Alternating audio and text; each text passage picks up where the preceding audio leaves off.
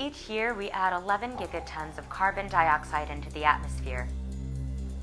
Scientists agree that the upper limit of CO2 concentration in the atmosphere should be at 350 parts per million. But currently, Earth's atmosphere is over 410 parts per million of CO2. Even in the far fetched scenario that we reduce our emissions to zero, this excess CO2 will last for hundreds of years and generate significant climate change. To secure a sustainable future, we must use technologies that extract the excess CO2. Tropical reforestation is the only affordable, effective, proven, and safe strategy we have. When you have a carbon footprint through the use of uh, fuels, through the use of electricity, and you want to do something to mitigate or compensate those fuel emissions, planting trees would do that.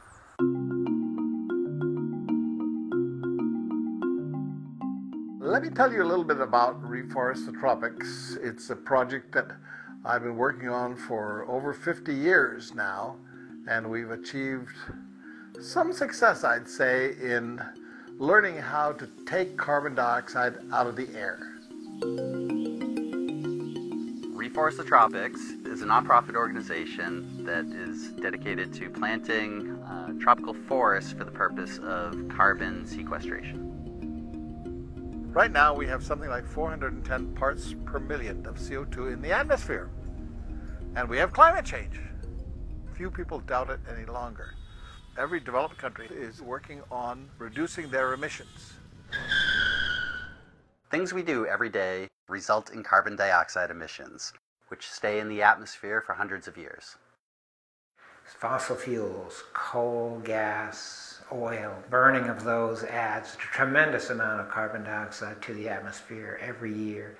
It's a little bit over 400 parts per million now. It's probably should be no more than 350 or so. And we're on a trajectory to get to 500.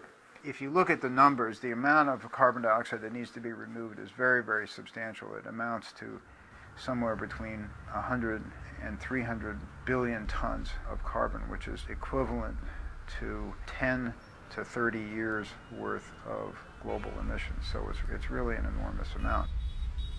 So what our forests do is they're very good at extracting carbon dioxide from the atmosphere and storing it in a tree or in a forest. If you look underneath the leaf, if here's a leaf on a tree and you look underneath it and you have really, really good eyes, you may see some little tiny holes there. And those holes are where the leaf itself absorbs carbon dioxide passively. It then splits. And this part over here ends up being released back into the air, and it's the, that oxygen that we need to breathe.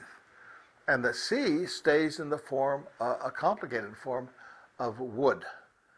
And the wood is actually the carbon part stored up forever if you don't burn the wood or let it rot. Trees basically serve as a sponge, which scrub excess carbon out of the atmosphere. Tropical forests are really the only affordable, safe, and proven method to capture and store carbon for the long term. We need all the tools in the toolbox to offset our carbon emissions. Using solar panels is way more expensive than just planting the right tree in the right place on Earth. So what tropical forestry does is it lets us pick the low-hanging fruit to address climate change.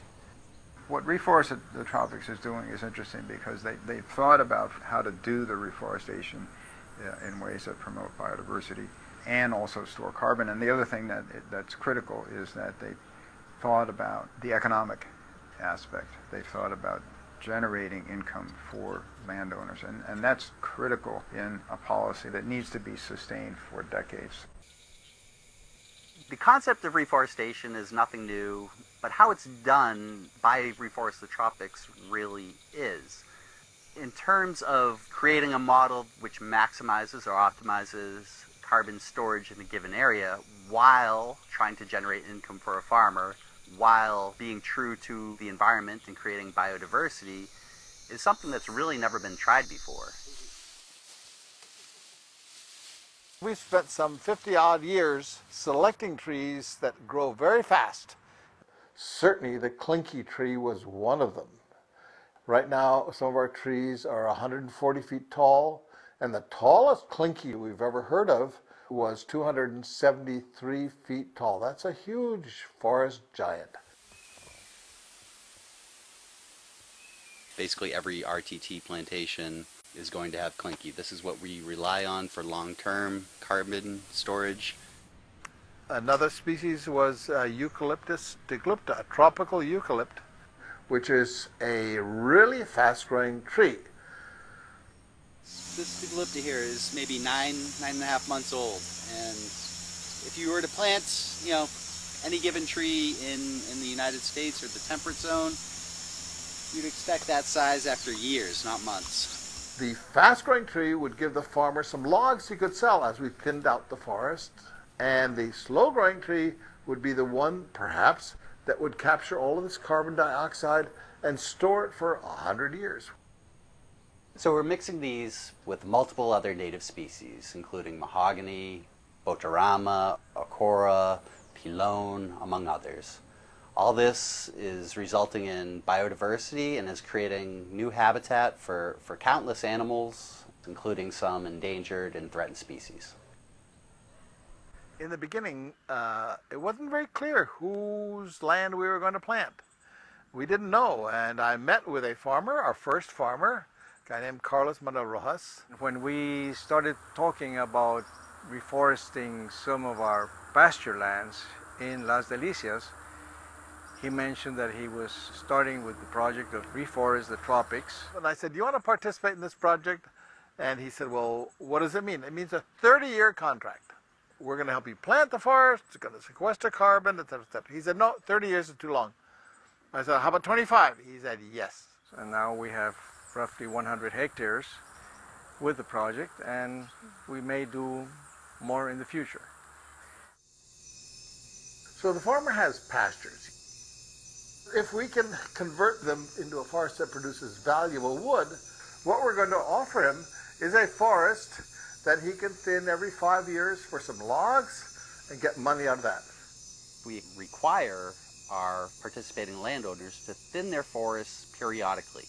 That's important for the overall production of the forest, but also in the thinning process, we extract certain logs which can be valuable for the farm. This graph shows you the accumulation of carbon dioxide in the forest. Then we had to give the farmer some income. So we thinned it a bit. And it grew back in there and it went higher, didn't it?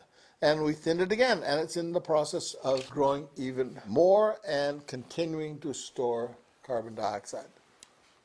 We expect to be able to earn as much money from that forest, thinning it every five years, very lightly, so that the farmer can make as much money as he can make from cattle.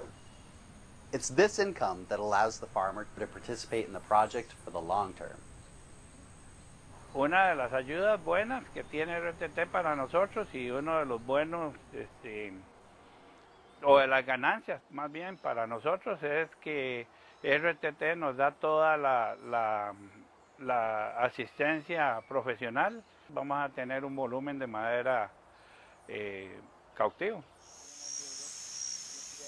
Here in Costa Rica, we have a lot of competitive advantage to turn forestry or agroforestry into very competitive land uses. Uh, the trees grow all year round. You have biodiversity. We can grow the most expensive wood that there is in the planet, like cedar, mahogany, rosewood. We have a lot of competitive advantage to turn forestry or agroforestry into very competitive land uses and very sustainable ones.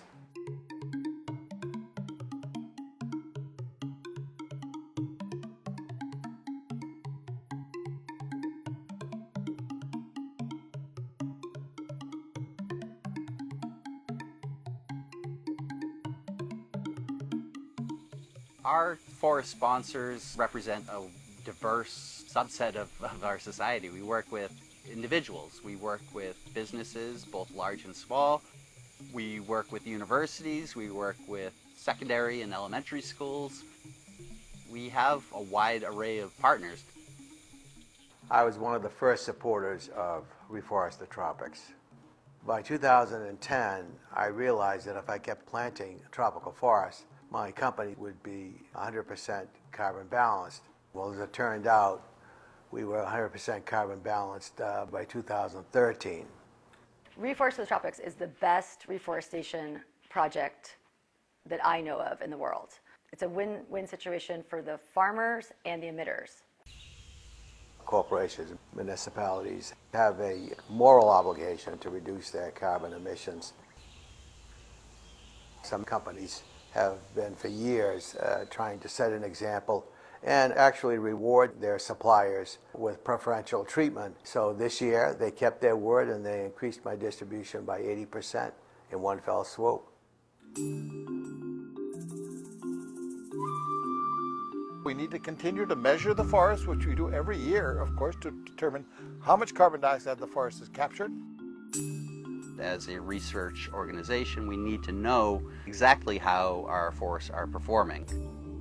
So we have a team of RTT foresters who go out and physically measure the trees in each plot.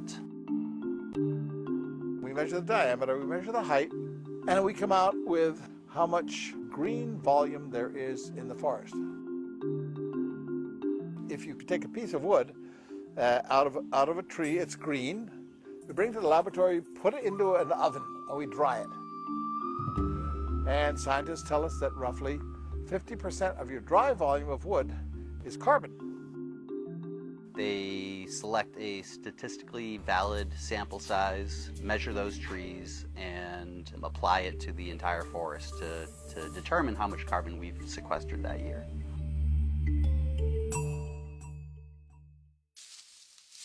Independent third-party verification has shown that we are essentially doubling the annual carbon capture of most other reforestation models. In addition, we're able to store that carbon for a much longer period of time. In that tree, there's a lot of carbon stored. Over here, there's very little stored in the grass. For years now, we have been going into different schools and teaching not only about reforestation, but climate change in general. He established forests. The forests are down there sucking in carbon dioxide. like this. So all of his carbon is being balanced. We're calling down to Costa Rica right now with video, and they're out in the field. So We are giving students the opportunity to do a virtual tour of a forest in Costa Rica via a Skype connection. got a connection. There's Rolando.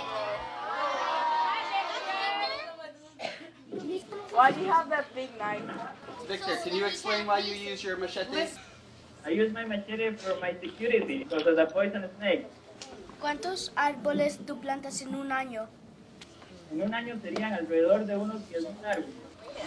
How long have you been planting trees? This is something that the students seem to really respond to and an aspect of the program that we, we'd like to grow. Victor, we're going to say goodbye now.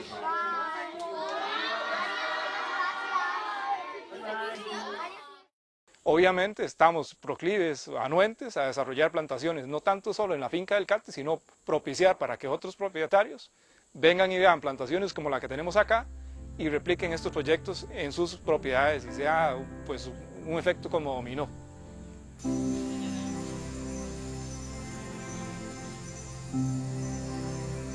What we're doing in Costa Rica is developing and demonstrating and confirming the model.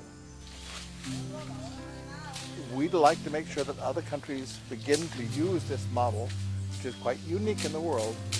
Therefore, we would end up with not 100 hectares or 500 hectares, we could end up with 100,000 hectares. That's starting to become significant.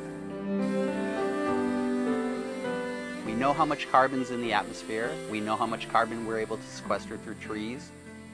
Through massive, wide-scale tropical reforestation by groups like Reforest the Tropics, governments, the business community, and others, our numbers show that we can actually make a material contribution to climate change mitigation. I think there's probably some 60,000 trees that we've planted And as I sit here, they're all growing right now. And I'm here, and they're there, but they're growing and capturing carbon on our benefit.